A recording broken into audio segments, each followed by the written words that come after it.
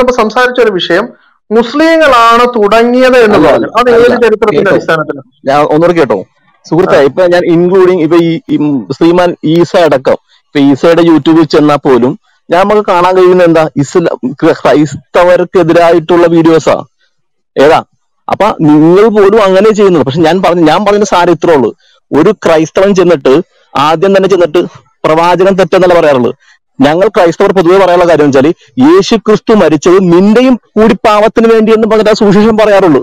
അല്ലാണ്ട് നിന്റെ മതത്തിലെ തെറ്റ് നിന്റെ മതത്തിൽ ഇന്ന തെറ്റ് ഇങ്ങനെയല്ല ഇങ്ങനെയല്ല ചെയ്യാറുള്ളൂ. ഇനി ഞങ്ങളുടെ മതത്തിലുള്ള കാര്യങ്ങൾ സി ഞാൻ പറയട്ടെ ഇസ്ലാം അതാ ഞാൻ പറഞ്ഞത് ഇസ്ലാം മതം ഉണ്ടാകുന്നതിന് മുമ്പേ മുതൽ ക്രൈസ്തവരുടെ ഇടയിലുള്ള കാര്യങ്ങൾ ഞങ്ങൾ ചർച്ച ചെയ്യുന്നുണ്ട്. ഇപ്പൊ ഞാനൊരു അപാത്രവിതാവാ ഞാൻ മറ്റ് എന്റെ ഞാൻ പറയട്ടെ ഞാൻ ഇസ്ലാം ഞാൻ ഇസ്ലാമിനെ വിമർശിക്കുന്നില്ലെന്നല്ല പറഞ്ഞത്.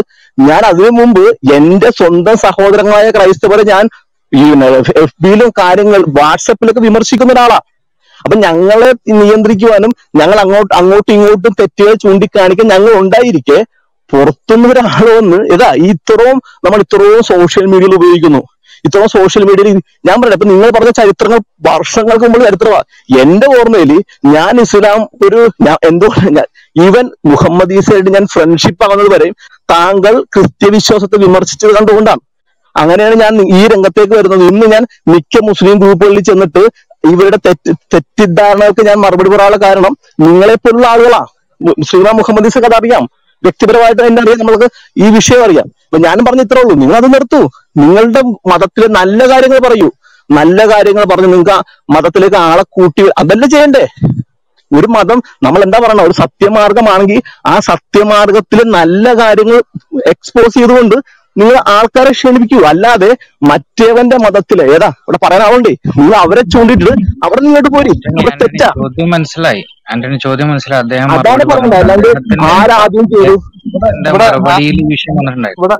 ഇവിടെ ആന്റണി ഒന്ന് ആന്റണി ഉറക്കം എഴുന്നേറ്റ് വന്നപ്പോൾ കണ്ട കാര്യത്തെ കുറിച്ച് ആന്റണി പറയുന്നത് ആന്റണി പറയുന്ന കളവല്ല. ആന്റണി നല്ല ഉറക്കമായിരുന്നു. ആന്റണി ഉറങ്ങി വന്നപ്പോൾ ഇതാണ് കണ്ടത്. ഞാൻ പറഞ്ഞത് ആന്റണിയോ ഞാനോ കണ്ട ലോകത്തെ കുറിച്ചിട്ടല്ല നമ്മുടെ ഈ നാട്ടിൽ ഈ പതിനാറാം നൂറ്റാണ്ട് മുതൽ ഈ പറഞ്ഞ ഇരുപതാം നൂറ്റാണ്ടിന്റെ മധ്യകാലഘട്ടം വരെ നടന്ന് അതിനുശേഷം ഈ നമ്മൾ ഇപ്പൊ അക്ബറിനെ നമ്മൾ ഫോക്കസ് ചെയ്യുന്നുണ്ടല്ലോ. ഈ എം എം അക്ബർ സാഹിബിന്റെ വരെയുള്ള ചരിത്രമാണ് പറഞ്ഞത്. ഇനി എന്റെ ചരിത്രം കൂടെ പറയാം. ഞാനിങ്ങനെ രാവിലെ എഴുന്നേറ്റ് അന്ന് പിന്നെ ഒരു കാര്യം ചെയ്തൊക്കെ കുറച്ച് ക്രിസ്ത്യാനികളെ ചീത്ത പറയാം. അങ്ങനെയാണോ? അല്ല. ഞാൻ ഇസ്ലാം സ്വീകരിക്കുന്ന രണ്ടായിരത്തി ഒന്നിലാണ്. രണ്ടായിരത്തി ഒന്നിൽ സ്വീകരിച്ചു വന്ന് ഞാൻ എന്റെ വീട്ടിൽ നിന്ന് ഒന്ന് ആലോചിച്ച് നോക്കിയാൽ ഇരുപതാമത്തെ വയസ്സിൽ ഒരാളെ വീട്ടിൽ നിന്ന് പുറത്താക്കുക. ആൾ ഒറ്റപ്പെട്ടു പോയിട്ട് ജീവിക്കുക. ആ ആൾ ഒരു കുടുംബം മുന്നോട്ട് പിന്നെ ഇരുപത്തിമൂന്നാം വയസ്സിൽ ഇരുപത്തിമൂന്നാം വയസ്സിലാണ് എന്നെ പുറത്താക്കുന്നത്. ഇരുപതാം വയസ്സ് സ്വീകരിച്ചു ശേഷം ഇരുപത്തിമൂന്നാം വയസ്സിൽ എന്നെ പുറത്താക്കുന്നു. ഞാൻ പിന്നെ എന്റെ കഷ്ടപ്പാട് എന്റെ ബുദ്ധിമുട്ടായിട്ട് ഞാൻ ഇസ്ലാം അനുസരിച്ച് മുന്നോട്ട് ജീവിച്ചു പോകുന്നു. ഒരു സ്ഥാപനം ചെയ്യാനുള്ള കഷ്ടപ്പാട് അതിന്റെ ബുദ്ധിമുട്ടിൽ ഞാൻ ഇങ്ങനെ ഓടിക്കൊണ്ടിരിക്കുന്നു. അപ്പൊ എന്നെ സംബന്ധിച്ചിടത്തോളം ഞാൻ ചെന്നിരിക്കുന്നത് ഒരു ഒറ്റപ്പെട്ട ദ്വീപിലോ ഒന്നും അല്ല. ഇവിടെ മുസ്ലിം കമ്മ്യൂണിറ്റി ഉണ്ട് സ്ട്രോങ് ആയിട്ട് അവർക്ക് അവരുടെ പ്രമാണങ്ങളെ കുറിച്ച് കൃത്യമായ ബോധ്യമുണ്ട് ഞാൻ വരുന്നു നിസ്കരിക്കുന്നു നോമ്പ് നോക്കുന്നു എന്റെ കാര്യങ്ങൾ ചെയ്യുന്നു. ഞാൻ അന്വേഷിച്ച് ഇപ്പം ക്രൈസ്തവന്റെ ത്രിയേക വിശ്വാസം ഇഷ്ടപ്പെടാത്തതുകൊണ്ടാണ് ആന്റണി പുതിയൊരു വിശ്വാസത്തിലോട്ട് നിൽക്കുന്നത്. എന്നതുപോലെ ഞാൻ എന്റെ ഒരു വിശ്വാസം കണ്ടെത്തി ഞാനത് സത്യമായിട്ട് കണ്ട് ഞാൻ അതനുസരിച്ച് പോകുന്നു.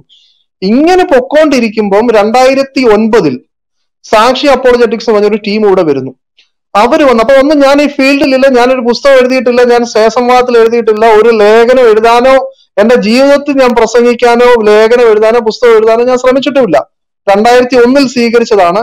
രണ്ടായിരത്തി ഒമ്പത് വരെ ഞാൻ ഒരു പേന എടുത്തിട്ടോ അല്ലെങ്കിൽ ഒരു സദസ്സിലോ എഴുതിയിട്ട് ഞാൻ സംസാരിച്ചിട്ടില്ല.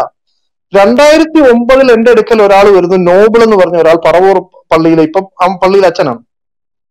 അവൻ വന്ന് അവനും ഇതേപോലെ കാര്യങ്ങളൊക്കെ സംസാരിച്ചിട്ട് ഇവൻ പ്രവാചകനെ ആക്ഷേപിച്ചുകൊണ്ട് ഒരു തെറി പുസ്തകം പച്ചത്തെറി ആ തെറിയൊന്നും ഇവിടെ വെച്ച് പറയാനില്ല പിന്നെ പറയണമെന്നുണ്ടെങ്കിൽ ഞാൻ പറയാം അവൻ എന്തൊക്കെ പറഞ്ഞു എന്നുള്ള ഡേറ്റ സഹിതം കാണിക്കും.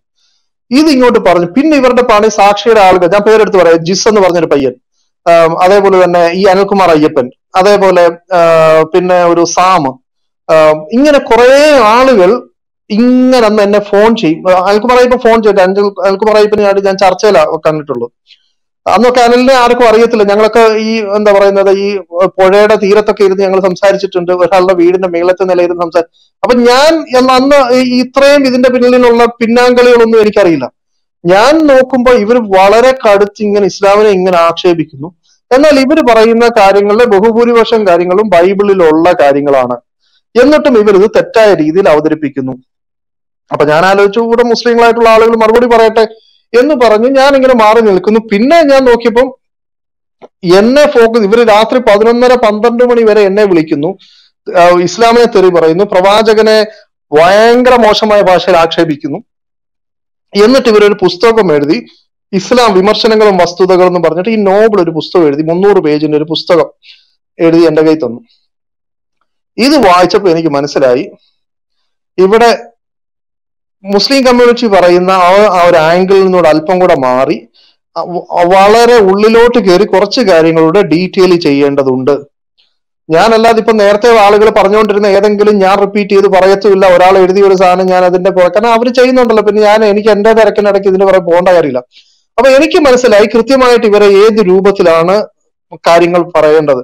അപ്പൊ മുസ്ലിം കമ്മ്യൂണിറ്റിക്ക് ആ ഭാഗങ്ങൾ മനസ്സിലാകാത്ത കുറെ കാര്യങ്ങൾ. മുസ്ലിങ്ങൾ അങ്ങനെ ബൈബിൾ വായിക്കുകയൊന്നും ചെയ്യുന്നില്ല. ഈ അക്ബർ സാഹിബിന്റെ പ്രസംഗത്തിലാണ് ഈ മത്തായി മർക്കോസ് ലൂക്കോസ് എന്നൊക്കെ അവർ കേൾക്കുന്നത് തന്നെ. അപ്പം ഇച്ചൂടെ കയറി ചില വിഷയങ്ങൾ ഡീറ്റെയിൽ ചെയ്യേണ്ടതുണ്ട്. അപ്പം ഈ നോബിളും കൂട്ടരും വന്ന് എന്നോട് വന്നിട്ട് എന്താ മറുപടി എന്ത്? മറുപടി എന്ത്? നിങ്ങൾ ചോദിച്ചുകൊണ്ടിരിക്കുക. അങ്ങനെ ഞാൻ ഒരു ഒരു അഞ്ച് പത്ത് ദിവസം കൊണ്ട് ഞാനൊരു പുസ്തകം മറുപടി എഴുതുന്നതാണ് എന്റെ ഒന്നാമത്തെ പുസ്തകം. പിന്നെ ആ പുസ്തകത്തിന് അപ്പം എനിക്കും പറയാം എനിക്ക് വേറൊന്നും അറിയത്തില്ല. അക്ബറിന്റെ കാര്യം എനിക്ക് കേൾക്കണം വേറെ ആരെയും കേൾക്കണ്ട. ഞാൻ വന്നപ്പോ എന്റെ മുമ്പിൽ കുറച്ച് ആളുകൾ ചീത്ത വിളിച്ചു ചരിത്രപരമായി പറഞ്ഞാൽ ഇങ്ങനെയാണ്. ഇനി എന്നെ സംബന്ധിച്ചിടത്തോളം ഞാൻ അതൊരു വലിയ ഭാഗ്യമായിട്ട് കാണുകയാണ്.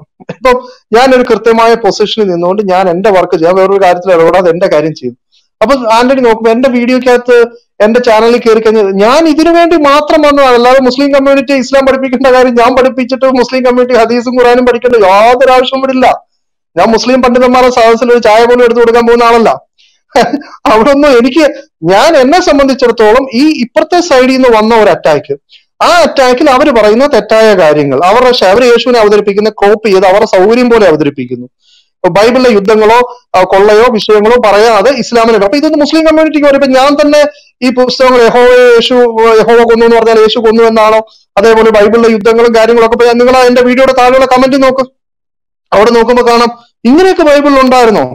അങ്ങനെ ഉണ്ടായിരുന്നു? ഞങ്ങൾക്ക് അറിയത്തില്ല പിന്നെ ഇവർ എന്താ ഇങ്ങനെ പറയുന്നത്? കാരണം മുസ്ലിം കമ്മ്യൂണിറ്റി ഇതാരും ഈ ഉത്തമഗീതം പഠിപ്പിക്കാനോ യുദ്ധം പഠിപ്പിക്കാനോ ഇതിനകത്ത് ദാസി സമ്പ്രദായം പഠിപ്പിക്കാനോ ആരും പോയിട്ടില്ല മെനക്കെട്ടിട്ടുമില്ല. ഞാൻ തന്നെ ഈ പലതവണ ഇവർ പറഞ്ഞപ്പോഴും ഞാൻ പറഞ്ഞു വിട്ടുപോക്കും അതൊക്കെ ഇരു കൂട്ടറിലും ആ, മതരാഷ്ട്രമായി നിൽക്കുമ്പോൾ ചെയ്യേണ്ട കാര്യങ്ങളുണ്ട്. നിങ്ങൾ അതൊന്നും പറയണ്ട. അത് നമുക്ക് അടിസ്ഥാനപരമായി ഖുർആാനിനും അതേപോലെ തന്നെ ബൈബിളിലും ബന്ധമുള്ള ചില കാര്യങ്ങളുണ്ട്. ഇപ്പം ആന്റണി പറയുന്ന പോലെ ആ നിങ്ങൾ ഇസ്ലാം അനുസരിച്ച് ജീവിക്കും. ഞങ്ങൾ ഞങ്ങളുടെ ഇടയിൽ തർക്കമുള്ള ഒരു വിഷയം ഏതാ? യേശു ദൈവമാണോ? തൃത്വമുണ്ടോ? അത് നിങ്ങളുടെ ഇടയിലെ ഒരു നിങ്ങളൊരു മതമായിട്ടും ഞങ്ങൾ വേറൊരു മതമായിട്ടും നമ്മൾ രണ്ടുപേരും നാളെ രണ്ട് ന്യായ രണ്ട് ന്യായവിസ്താര സ്ഥലത്തിൽ രണ്ട് ദൈവങ്ങൾ നമ്മളെ ന്യായവിചാ ന്യായവിസ്താരം ചെയ്യുന്നു. അല്ല നമ്മൾ വിശ്വസിക്കുന്നത്. നമ്മൾ ഒരു കൂട്ടരും അങ്ങനെ. നാളെ ഇപ്പൊ യഹൂദൻ പറയുകയാണ് ഞങ്ങളുടെ തോറ വെച്ചുകൊണ്ട് നിങ്ങൾ പഠിപ്പിക്കണ്ട. ഞങ്ങളുടെ തോറയിലെ പുസ്തകം വെച്ചുകൊണ്ട് നിങ്ങളുടെ യേശു ക്രൂശിക്കപ്പെട്ടു എന്ന് തെളിയിക്കണ്ട. ഞങ്ങളുടെ തോറ നിങ്ങൾ എടുക്കാൻ പാടില്ല എന്ന് പറഞ്ഞാൽ ആന്റണിയുടെ ആളുകൾ എന്ത് ചെയ്യും?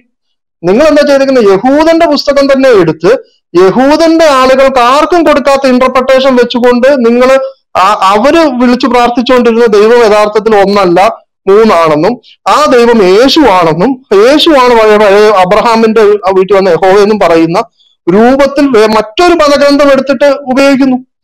നമ്മളും അതേപോലെ തന്നെ നിങ്ങൾ നമ്മളും രണ്ടു കൂട്ടരും പറയുന്ന ഒരു വ്യക്തിയെ കുറിച്ചാകുമ്പോൾ അതിനെക്കുറിച്ചുള്ള വ്യത്യസ്ത വീക്ഷണങ്ങൾ ചർച്ച ചെയ്യപ്പെടും. ഇനി അത് ചർച്ച ചെയ്യപ്പെടണ്ടെങ്കിൽ സ്വാഭാവികമായിട്ടും അവരെന്താ ചെയ്യേണ്ടത്? ഞാൻ ഇസ്ലാം മാത്രം കേൾക്കും മറ്റേ കേൾക്കാൻ പോകരുത്. ക്രിസ്ത്യാനി ക്രിസ്ത്യാനിയുടെ മാത്രം കേൾക്കുക കേൾക്കാൻ പോകണ്ട മുഹമ്മദ് ഈസയുടെ ചാനൽ ബ്ലോക്ക് ചെയ്യുക മറ്റുള്ളവരുടെ ചാനൽ ബ്ലോക്ക് ചെയ്യുക. അപ്പൊ അവർക്ക് അത് കേൾക്കേണ്ടി വരില്ല എത്രയോ ആളുകൾ ഈ കേരളത്തിൽ ജീവിച്ചിരിക്കുന്ന. മുഹമ്മദ് ഈസ എന്ന് പറഞ്ഞ ഒരാളിനെ അറിയുപോലും ചെയ്യാത്ത പിന്നെ ആരായി പഠിക്കുന്നത്? അല്പം സ്വതന്ത്ര ചിന്തയോടുകൂടി പ്രബോധനം ചെയ്യാൻ ആഗ്രഹിക്കുന്നവരും അതേപോലെ തന്നെ അല്പം അന്വേഷണ ബുദ്ധിയുള്ള ആളുകളും അപ്പൊ അക്ബറിന്റെ കേൾക്കും ഈസാടെ കേൾക്കും ജെറിയുടെ കേൾക്കും അയ്യപ്പന്റെ കേൾക്കും രവിചന്ദ്രന്റെ കേൾക്കും അതാർക്കാ തടയാൻ പറ്റും ഒരു മുസ്ലിമിനെ തടയാൻ പറ്റും. എനിക്ക് പറയാൻ പറ്റും നിങ്ങൾ ആരും അയ്യപ്പൻ പറയുന്ന കേൾക്കരുത് നിങ്ങൾ ആരും മറ്റേ കെ പി ജോസഫ് പറയുന്ന എനിക്ക് എങ്ങനെ പറയാൻ പറ്റുന്നത്? എനിക്ക് അവന്റെ മുകളിൽ എന്ത് അധികാരമുള്ളത്? അപ്പൊ ഇവിടെ ഞാൻ നോക്കിയപ്പോ നിങ്ങൾ എന്റെ വീഡിയോ ചാനലിനകത്ത് കയറിക്ക് ബഹുഭൂരിപക്ഷം വീഡിയോകളും ഞാൻ പലർക്കും മറുപടി പറഞ്ഞതാ.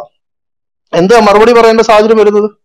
കാരണം ഇങ്ങോട്ട് അറ്റാക്ക് ചെയ്തുകൊണ്ട് ഒരു വിഷയം വരുമ്പോ ഏറ്റവും ഞാൻ വളരെ ശ്രദ്ധിച്ചിട്ടുണ്ട് നിങ്ങൾക്ക് ആന്റണിക്ക് പോലും പറയാൻ പറ്റും വളരെ ശ്രദ്ധിച്ചിട്ടുണ്ട് എന്റെ വാ എന്റെ വാക്കിൽ മോശപ്പെട്ട ഒരു പദം. ഞാൻ ഒട്ടും അംഗീകരിക്കുന്ന ആളല്ല പൗലോസ്. പൗലോസിന്റെ ലേഖനങ്ങളെ ഒരു തുള്ളിക്ക് പോലും വേദഗ്രന്ഥമായിട്ട് വിശ്വസിക്കുന്ന ആളല്ല ഞാൻ. എന്നിട്ട് പോലും പൗലോസ് ലീഹ എന്ന് നിങ്ങൾ വിളിക്കുന്ന ഭാഷയിൽ. അദ്ദേഹം എന്ന് വിളിച്ച് അദ്ദേഹത്തിന്റെ പുസ്തകം എന്ന് പറയാം എന്ന് വിളിക്കാം കള്ള പുസ്തകം എന്ന് വിളിക്കാം കള്ളപ്രവാചകൻ കള്ളത്തിന്റെ ആൾ സാത്താന്റെ ദൂതൻ ഇതൊക്കെ എനിക്കും പറയാം. ആർക്കാ പറയാൻ പറ്റാത്ത? യേശുവിനെ കുറിച്ചിട്ട് നിങ്ങൾ പൗലോസ് പഠിപ്പിച്ച യേശു എന്ന് പറഞ്ഞിട്ട് ഒരു ഒരു പ്രത്യേക ആംഗിളിലോട്ട് കൊണ്ടുപോയാൽ എനിക്ക് യേശുവിനെ എന്തും പറയാം. ആ അവിടേക്ക് കൊണ്ടുവന്നിട്ട് ആ യേശുവിനെ നാട്ടുകാരെല്ലാം തല്ലിക്കൊന്ന് കെട്ടിത്തൂക്കി എന്നുള്ള രൂപത്തിൽ ആക്ഷേപിക്കാനാണെങ്കിൽ അവർക്കും പറ്റും. പക്ഷേ എന്റെ ലക്ഷ്യം മുറിപ്പെടുത്തലാവരുത് എന്റെ പ്രബോധനത്തിന്റെ രീതി അതാവരുത് എന്നെ അത് പഠിപ്പിക്കുന്നുമില്ല ഈ അങ്ങനെ സമൂഹനെ പ്രോത്സാഹിപ്പിക്കത്തുമില്ല. അപ്പൊ ഇത് കൃത്യമായിട്ട് അറിയുന്നത് കൊണ്ട് ഞാൻ എന്റെ ഒരു റോൾ എന്റെ ഒരു റോൾ എന്ന് പറഞ്ഞ ഇപ്പൊ ഒരു ഫുട്ബോൾ കളി പോലെ അല്ലെങ്കിൽ ഒരു ക്രിക്കറ്റ് കളി പോലെ ഒരു കീപ്പറിന്റെ റോൾ എന്തായിരിക്കും? ആൾ പോയിട്ട് കീപ്പിങ്ങിന്റെ പണി ചെയ്താൽ മതി എന്ന് പറഞ്ഞതുപോലെ ഞാൻ വലിയ ചർച്ചകളിലൊന്നും ഇടപെടുന്നില്ല.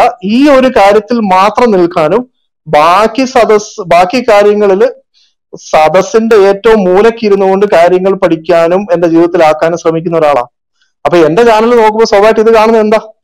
കൊടിത്തോട്ടത്തിന് മറുപടി സബാസ്റ്റിന് മറുപടി അല്ലെങ്കിൽ വേറെ ആരാ ഇതേപോലെ ഇപ്പൊ ഒരു ഫാദർ ആന്റണിക്ക് മറുപടി പറയേണ്ടി വരുന്നു. എന്താ?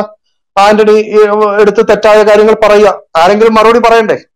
അപ്പൊ സ്വാഭാവികമായിട്ടും ആ വിഷയം അറിയുന്ന ഒരാളെന്നുള്ള നിലയിൽ ഇരു ഇരു മതത്തെക്കുറിച്ചും അറിയുന്ന ഒരാളെന്നുള്ള നിലയിൽ ഞാൻ പറയുന്നത് കൂടുതൽ ആളുകൾക്ക് മനസ്സിലാകുന്നുണ്ട് എന്ന് എനിക്ക് ഫീഡ്ബാക്ക് കിട്ടുന്നത് കൊണ്ട് ഞാൻ ആ മേഖലയിൽ ചെയ്യുന്നു.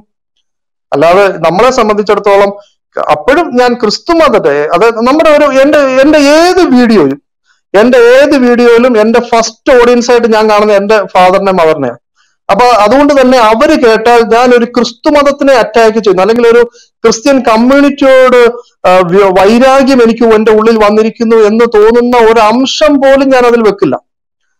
ആർക്കും കേട്ടാൽ ഒരു അവരുടെ ഗുണകാംക്ഷയിലാണ് ഞാൻ സംസാരിക്കുന്നത് എന്ന് നൂറ് ശതമാനം ഉറപ്പിക്കാവുന്ന കാര്യങ്ങൾ. കാരണം എന്റെ ഫസ്റ്റ് ഓഡിയൻസ് ആയിട്ട് ഞാൻ കാണുന്നത് എന്റെ ഫാദറും മദറിനെ അപ്പൊ ആ ഒരു ഭാഷയിലും മര്യാദയ്ക്ക് ഞാൻ സംസാരിക്കുള്ളൂ അത് ഇനിയിപ്പോ എന്നെ മുമ്പിൽ നിന്ന് കൊടുത്തോട്ടമോ സെബാസ്റ്റിനോ എന്ത് ചീത്ത വിളിച്ച് എന്നെ പ്രകോപിപ്പിച്ചാലും ഞാൻ ഇതേ ചെയ്യുള്ളൂ. കാരണം എന്റെ ടാർഗറ്റ് എന്റെ ലക്ഷ്യം ഗുണകാംക്ഷയിൽ മാത്രമാണ്.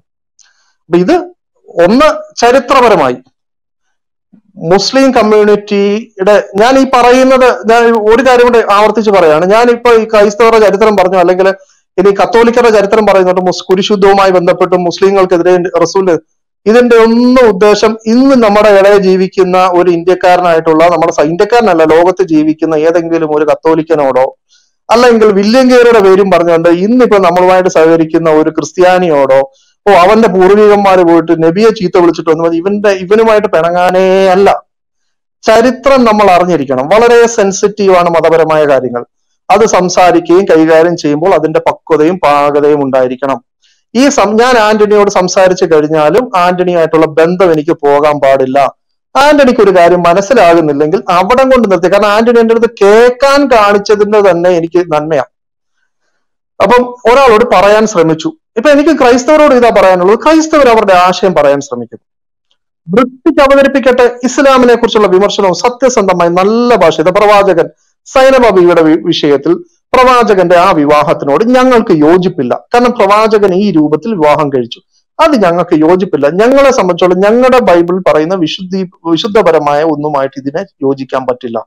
എന്നാണ് പറയുന്നതെങ്കിൽ ഒരു കുഴപ്പമില്ല ഞാൻ പത്തനംതിട്ട മുസ്ലിം പള്ളിയിൽ പോയിരുന്ന നോമ്പ് സമയത്ത് മീസാനുൽ ഹക്ക് കൈപ്പിടിച്ചുകൊണ്ട് അവിടെയുള്ള മുസ്ലിങ്ങളോട് സൈനബാബിയുടെ ഈ വിഷയം ചോദിച്ചിട്ടുണ്ട്. ഞാൻ സഫിയാബിയുടെ വിഷയം ചോദിച്ചിട്ടുണ്ട്. അപ്പോഴും എനിക്കറിയാം എങ്ങനെയാ ചോദിക്കേണ്ടതെന്ന്. ഞാനത് കൃത്യമായിട്ട് ചോദിക്കുകയും മറുപടി മനസ്സിലാക്കുകയും ആ പുസ്തകങ്ങൾ വായിച്ച് പരിശോധിക്കുകയും ഞാൻ ചെയ്തിട്ടുണ്ട്. അത് അല്ലാതെ നമ്മളോട് ഒരാൾ സൈനബാബി സാ പറയുമ്പോ തന്നെ അടി തുടങ്ങുകയാണോ? അല്ല. പക്ഷെ ഇപ്പൊ ആന്റണിയുടെ ആന്റണിയോട് എനിക്ക് ഒരു കാര്യം പ്രകോപനപരമായും ചോദിക്കാം വളരെ ന്യായമായിട്ടും ചോദിക്കാം. ഇപ്പം ഉദാഹരണം പറഞ്ഞു ഉദാഹരണം പറയാം. ആന്റണിക്ക് ഒരു സിസ്റ്റർ ഉണ്ടോ ഇല്ലയോ എന്ന് തന്നെ എനിക്കറിയില്ല. ആന്റണിക്ക് ഒരു സിസ്റ്റർ ഉണ്ടെന്ന് വിചാരിക്കാം. ആ സിസ്റ്ററിനെ കുറിച്ച് ഒരു മോശമായ ഒരു അഭിപ്രായം ഒരിടത്ത് വന്നു. ഞാൻ എനിക്ക് ആന്റണിയോട് എന്റെ ഒരു കൂട്ടുകാരനാണ്. ഞാൻ ആന്റണി എടാ ഇങ്ങനെ ഒരു വിഷയം കേട്ടു. അതിനകത്ത് എന്തെങ്കിലും വസ്തുതയുണ്ടോ? എന്ന് ഞാൻ ചോദിക്കുന്നതും എടാ ആന്റണി നിന്റെ പെങ്ങളുണ്ടല്ലോ ആരാ മോൻ? എന്ന ഭാഷയിൽ സംസാരിക്കുന്നത് എന്റെ ഡിഫറെന്റ് ആണ്.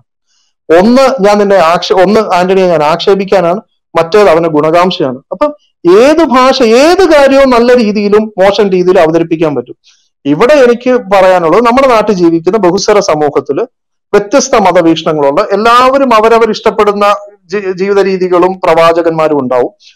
അവരുടെ ഗുരുക്കന്മാരുണ്ടാവും അവർ സ്നേഹിക്കുന്നവരുണ്ടാവും. അപ്പോൾ ആ വിഷയങ്ങൾ വളരെ സ്നേഹത്തിൽ നമ്മുടെ വിയോജിപ്പ് പറയാം. ഒരു കുഴപ്പമില്ല ഒരു കുഴപ്പമില്ല. പ്രവാചകന്റെ എന്ത് വിഷയങ്ങളും നിങ്ങൾക്ക് ചോദിക്കാം? ലൈംഗിക ബന്ധവുമായി ബന്ധപ്പെട്ട വിഷയം ചോദിച്ചോ? ആ മാന്യതയോട് ചോദിച്ചോ?